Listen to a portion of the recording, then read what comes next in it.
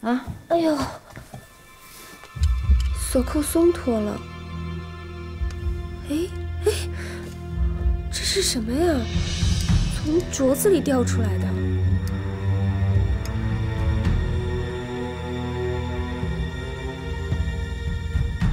一种，把这镯子给我看看。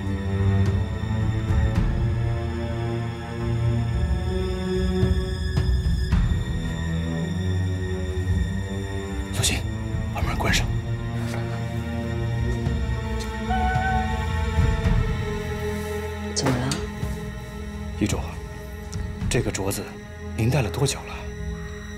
这只镯子是我嫁于皇上当侧福晋那一年，皇后娘娘赐给我和贵妃一人一只，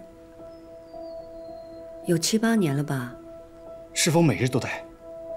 是啊，因为这只镯子是皇后所赐，也被皇上视为妻妾和睦之兆，我自然是每天都戴着。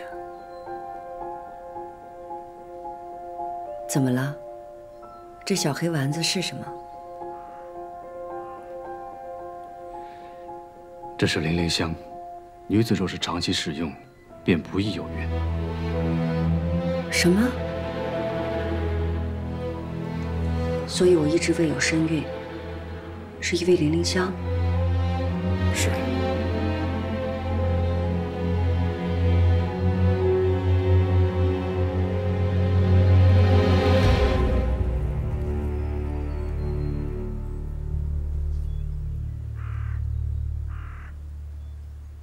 皇后看着温良正气，垂范六宫。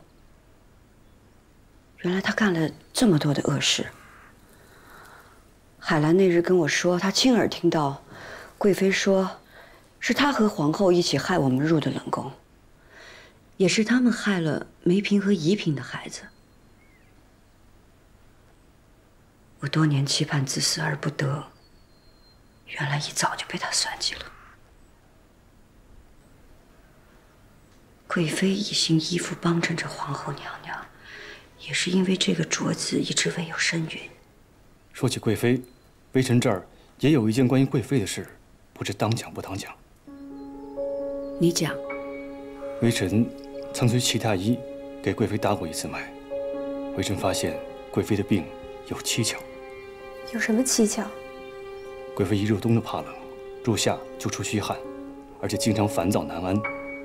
胸内疼痛如刺，一则是因为这零陵香所致，但微臣看来，是因为贵妃患有气虚血瘀之症，体内淤血不去，所以才会心血难安而发。但齐太医说，这病是贵妃从胎里带来的，一时难以清除，可治了这么多年，却越治越病。怎会如此？微臣看过齐太医给贵妃开的方子，却是良方。但微臣留意到，每次抓药的时候，这药材里总多了两味方子里没有的药。但凡加了这两味药，那整个方子的药性就变了，看上去有所效果，但实质上就和往冰上泼热水一样，冰是化了些，可耐不住。贵妃的身子是个大冰窟，多少水泼上去也给冻住了。年久时日，这么下去。哪天身体受不住元气大伤，就是饮鸩止渴。那是不是抓药的小太医弄错了呢？抓什么药多少量，这里面讲究太深，除了开方子大夫之外，没有人衡量得准。那就是齐太医了。齐太医没有那么大的胆子。难道还是皇后？皇后已经给贵妃用了零陵香了，何必多此一举？那也许是贵妃。得罪了旁了什么人而不自知？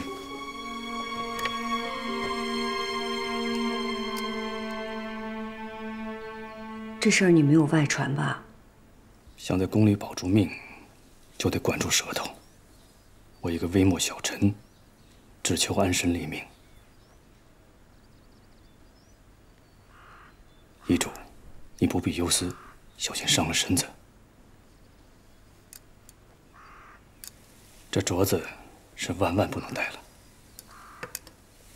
微臣一定会竭尽全力，为遗主调好身体，以备日后之需。张玉斌，今日你告诉我一个明白，我多谢你。